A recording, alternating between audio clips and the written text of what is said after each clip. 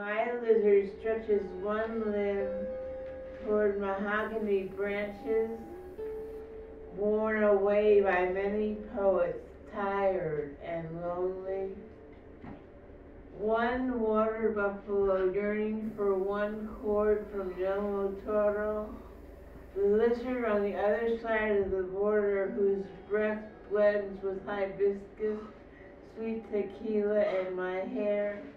Lizard closes his eyes now, skin roughened, crepe, limbs cut by each galloping Apaches outside Denver, nestled by painted trunks of carved trees, rest in peace, that leads a grand concourse, a great fiesta, or a New Orleans funeral trail. Um, I was looking at your Wikipedia page last night and it defined uh, you as a post-black artist um, as part of that movement, and I wanted to know what you thought of that. So maybe you need to go on Wikipedia and change that. And I just didn't really know what that meant. And well, so I, what I the asked people yesterday. They're taking a post-black class, and I asked them what it was. And they didn't have an answer yet because they said they were discovering it. So they couldn't tell me. And I certainly can't tell you because Okay, I'm I'll still in the middle of the blackness. So, so I don't know what post-black is. Me neither. So, but then can you, can you speak to what, how maybe you relate to the Afrofuturist movement then that Sun Ra is a part or like classifies himself as a part of? I don't know. That's different. Yeah. So I that I bust the confusion with the. Oh, uh, don't you want to go with me on a Sun Ra Odyssey?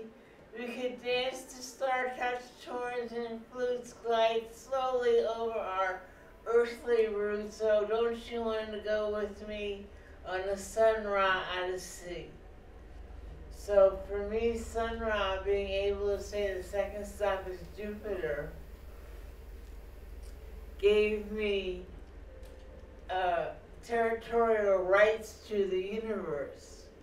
I wasn't transgressing on some place white people had been. I was going with full right and full righteousness and and integrity into the universe as a free being.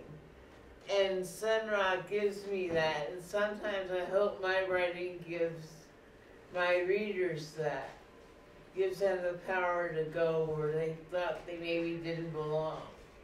When I wiggle slowly, my own natural state of repose, my skin is silk to touch, tattooed, a Dogon iguana in her own soft bones play,